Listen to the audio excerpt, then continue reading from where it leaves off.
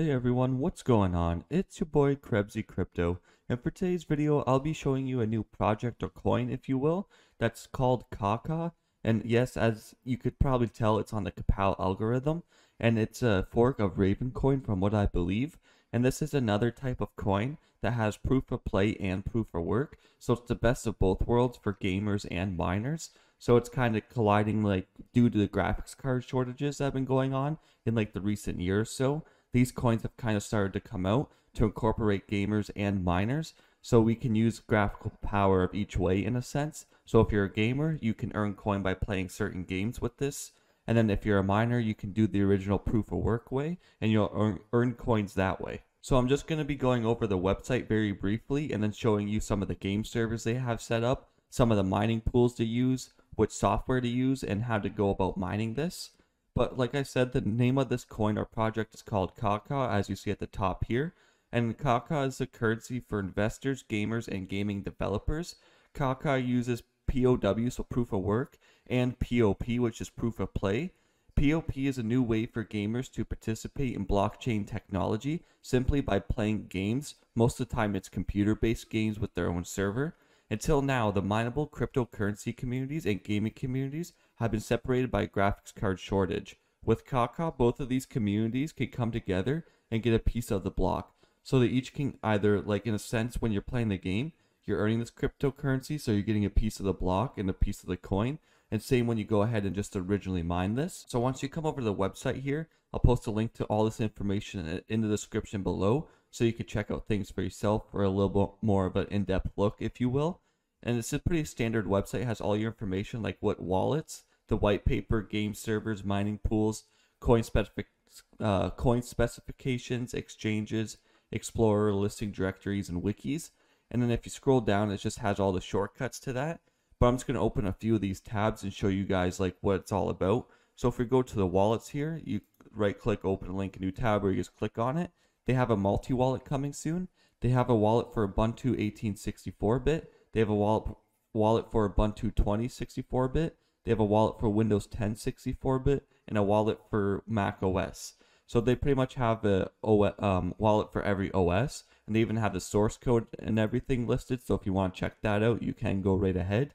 But depending what operating system you're on, you want to get one of these wallets and download it to whatever like operating system you have and then you want to open the wallet, create the wallet like normal, and then get your mining address so you have it ready for when you're going to start mining. Now, I know I normally show like the wallet part of things, but currently my server is a little messed up, and I don't feel like setting it up on this computer because I don't have much hard drive space to begin with. I have to upgrade my SSD drive in order to get a little bit more space. But right now my server is acting up, so I'm not able to actually you know, getting my hands on and set this wallet up. But I figured to still make this video because the wallet, I assume, is just like a Ravencoin wallet. You're going to set it up, create your wallet, name it, and the label it, and then you're going to copy the wallet address. But now we can go over to back to here, and then you can click coin specifications if you will. I already have that open, and this gives you all the information about the coin itself. So it, this coin was born on July 19th of 2022, so just a couple months ago and the coin name is KawKaw as you know. The ticker is Ka, the capital letters K, and the total supply is over 2 billion coins, and it's having every 2.1 billion coins, I think that is, more or less every four years. The algorithm is KawPow, as you could tell by the name of this project. The block time is 60 seconds. The block reward is 500 Kas. Then there's the P2P port and the RPC port. And the DES reward is 8% of each block mine, mine goes to uh, proof of game address. We will send 2% to gamers and 1% to stakers. So you earn 2% every time a block is mined while you're gaming. And then if you're staking it, you earn 1% every time a block is mined. I believe that's how it works because every time there's a block mine, the devs get reward and then they separate it out. The devs keep a little bit just to keep, you know, ambition and the uh, supply going. But then also they send it out to proof for gamers and stakers because the miners already get their own blocks or part of their blocks, however they set up their mining. So I'm just going to close out these two tabs here since we kind of went over them. So just make sure to have your wallet, like I said, and then that was coin specifications, and then you can check out their game servers. So as you see, they have like a kind of a separate website. It's coggames.kawkawcoin.org. It's a subdomain. It's let you know which uh, games are being developed and which servers are online and such. So if you scroll down, you'll see they have Minecraft version 1.19.2 and they have their own world where you log in, you join, and you play to earn. So you play Minecraft and you earn KawKaw coin. And then right now under development is CSGO. So soon enough you'll be able to play CSGO and earn KawKaw coin or Ka coin if you want to call it, just for simple term. But either way, it's good to see this form of like I guess cryptocurrency starting to evolve because it takes the best of both worlds of proof of work and proof of game, so gaming and mining, and it puts them together instead of having to worry about staking or things like that. I find this way is better because it incorporates everybody with a graphics card. But that's just my take on it. So that way, you know, there's no arguing on, oh, you know, I can't earn it because you guys have a graphics card or you're taking out the graphics card because you're mining this, that, and the other thing. It just incorporates the best of both, in my opinion. So if you're interested in the gaming side of things, you can check out their game servers. If you're interested in mining, you can continue watching this video and I'll be showing you how to set that up and get things going for the mining part of things. So as you know, KawPow algorithm is through GPU. Unfortunately, it's not CPU mineable anymore. It used to be from what I know, but not anymore to this day just because it's kind of evolved beyond its power when it comes to CPU and GPUs and such. So KawPow is a GPU mineable algorithm. And the mining pools for KawKaw coin or Ka coin, if you will, you could go on the mining pool stats and you can see for yourself here all the different pools that have it up and going. Right now, the main pool seems to be Rplant as it is for most coins, because that has like the best way to solo mine, in my opinion. But what you want to do, as you see, like over 55% of the hash network hash rate is on Rplant. You kind of want to spread it out and go to like Zerg Pool, Z Pool. You can check out their official kawkawcoin.org. They have a pool set up there. There's a lot of different pools you can select from. I just I just suggest going to ones that don't have like an overloaded hash rate. So as you see, like I said, the 55% of known hash rate you kind of want to spread that out just to keep things even and balanced and secure because it's like I've heard in the past it's not good to keep it all in one pool or all in one area as you will but I will be showing you how to get it set up on Rplant and then how to get it set up on Zpool so that way if you do want to join this one just for solo mining purposes Rplant's your route to go but if you kind of want to do a pool mining Zpool is the way to go in my opinion I've used Zpool a lot I've been starting to use Rplant for some solo mining, and they're both solid pools. I don't have any issues with any of them. So if we just go over to Rplant here, this is going to redirect you to the KawKaw uh, mining pool for Rplant here. And you're going to see it says right off the hop here, please do not mine directly to an exchange wallet. So that's why I suggested using their wallet from their website, depending what operating system you have. So to get started here is pretty straightforward. You scroll down a little bit, you're going to have all this information, miner stats, my miner connect what you want to do is click connect and this is going to give you your information for whichever route you want to go get set up and depending what miner you want to use and it's going to have all your info about the coin and how it's running and things like that and if you go up here it has all the network information the current pool and then if you're mining solo here but as you see the miners that they use here is WildRig, Crypto Dredge, NB Miner, T-Rex Miner. I should suggest on getting a miner set up before you get like set up on a pool here so if we go over to Awesome Miner here, this is going to give you a list of all the miners that you can use for KawPow algorithm on AMD or NVIDIA uh, GPUs. So as you see, there's Bminer, BZ minor, Crypto Dredge, G minor, KawPowMiner, Mini Z, Nano, NB, SRB, T-Rex, TT, Wild Rigs, and Z enemy. So it's quite a bit just depending on what graphics card you have. So whichever one you decide to choose, the setup should be the same. It's just more or less pool dependent. So it's more or less which pool you decide to use is how you're going to set up the settings. Most of these are just simple. You download them and then run the command or batch file. And then you right click and edit whichever algorithm. So if there's the KawPow one, you right click and edit that one.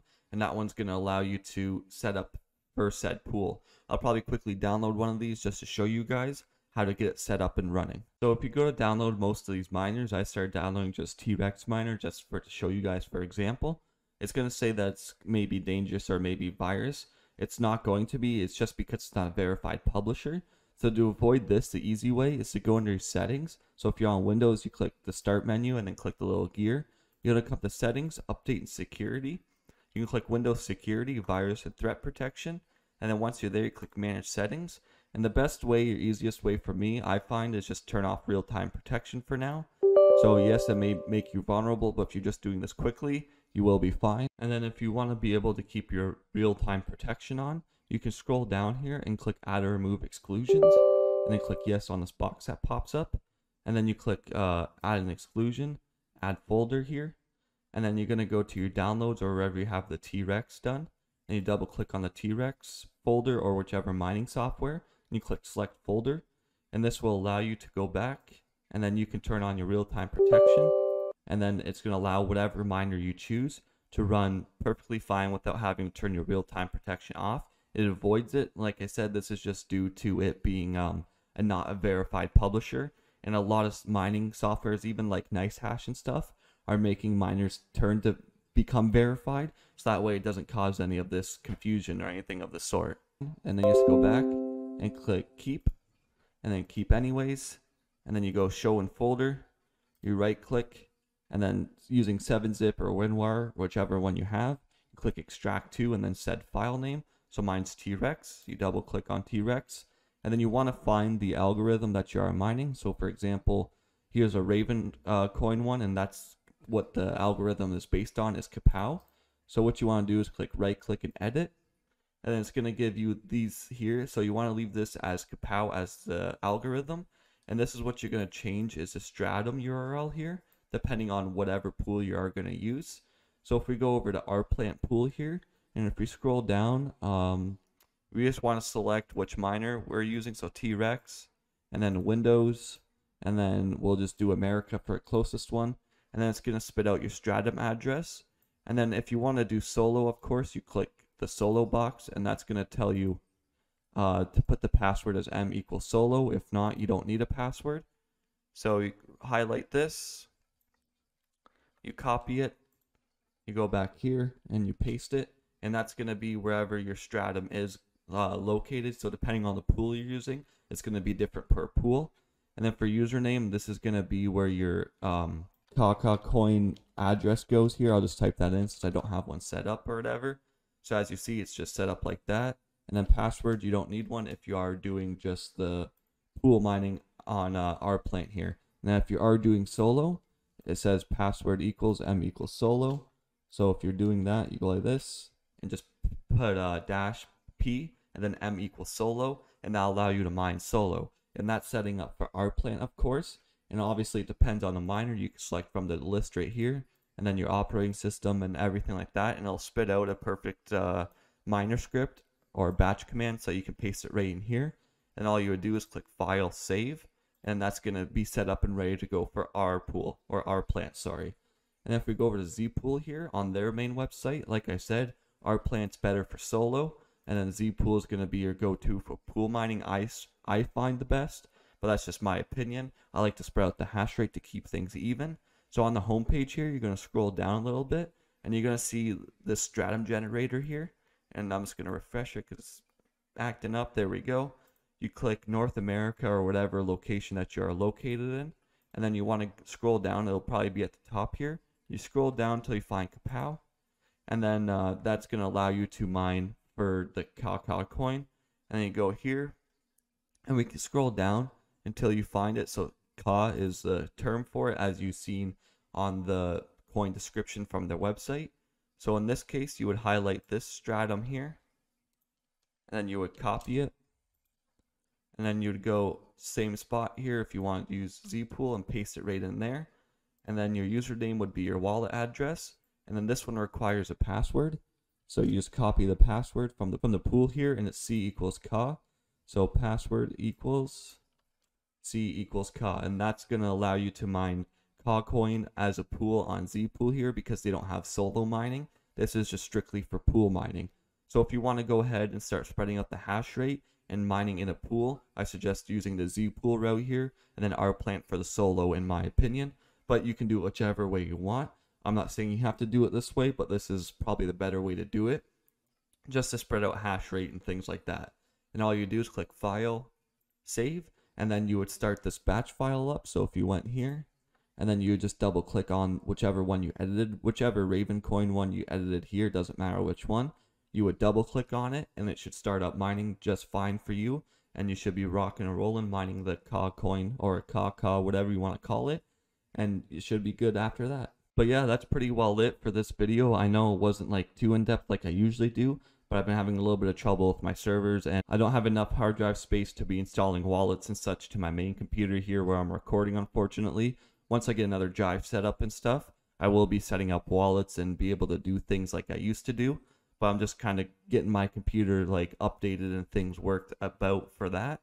But yeah, this is a pretty solid project. I find I've been keeping my eye on it since about near the start of August just to see where it goes and how it's being listed. And it's been listing on more and more pools. It used to just be on our plan and like a couple others, but lately it's really taken off when it comes to like how many pools it is and the exchanges and stuff. They're starting to build up. There's only a couple exchanges for now, but I imagine that's going to be changing over time too because this project has been gaining some popularity and hype. As you see right here, the gains on it has been pretty crazy lately.